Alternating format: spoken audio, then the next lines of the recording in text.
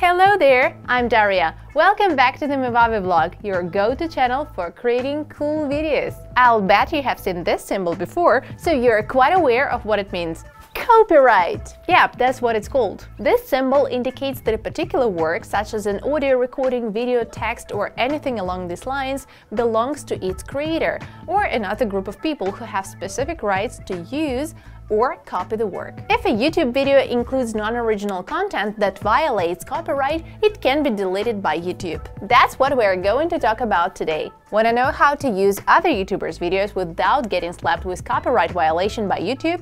Stay tuned!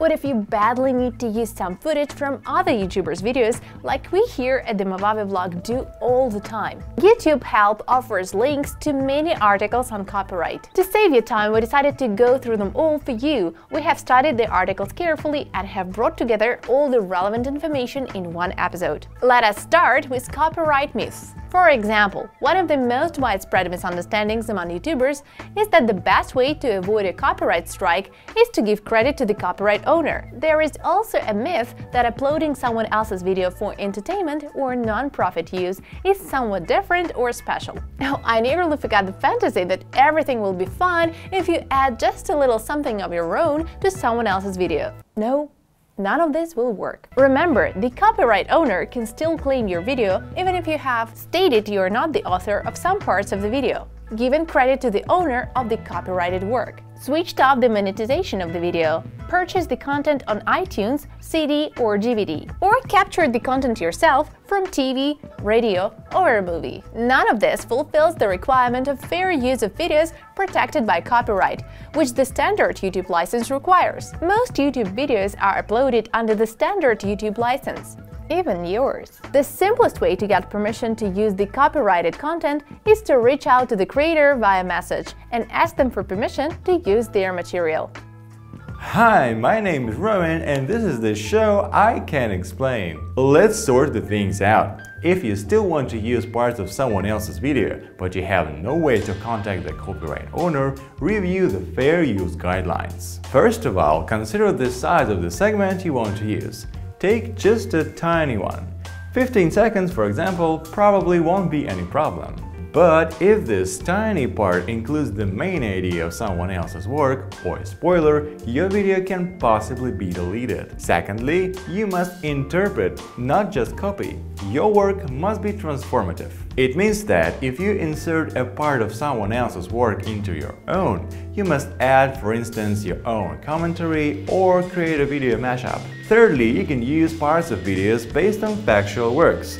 It's generally about news and scientific videos. Let's say an educational piece about a meerkat family or news about Prince Harry's wedding, these are commonly known facts. There is no fictional element, so segments of videos like these can be used by other YouTubers. Probably. And finally, use of copyrighted footage can be considered fair if the copyright owner has not lost any money because of your video. Let's sum it up! For successful use of someone else's video, you need to only use small portions of the original work and apply transformative character to your video. You can also use commonly known facts but never intend to bring any commercial harm to the copyright owner. But here's the thing, sometimes even copyright owners forget about fair use guidelines and request that YouTube delete inoffensive videos. YouTube can ask them to set their claims aside. If you're sure your video doesn't infringe the owner's copyright, you can dispute the claim. You're probably thinking there is no 100% way to use other YouTubers' content in your channel. But wait, there actually is. YouTube, along with other social media, works with the Creative Commons license. This means that videos uploaded under the Creative Commons license can be partly or entirely used for distribution, translated into other languages, dubbed, and more, if you're maintaining special terms. Check out the license of the video you need. You've seen the Creative Commons note? You can use the contents of the video freely. Then you should note in your video the title or description, the copyright owner's name or nickname, information about any changes you've added to the original content, and insert a link to the text of the Creative Commons license. This kind of license also presupposes you can use all these terms in any possible ways. For example, if you're not able to include each point in your title or description, you can just add a link to the original video or any other source that contains all the information required. That's awesome!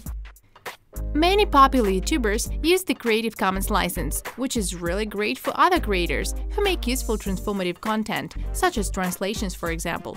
Jenna Marbles uses Creative Commons so that the Comedy Store channel can frequently upload translations of her videos for Russian users. Pretty much the same thing with the Cut and Just Thoughts channels. This second one exists due to transformative content too.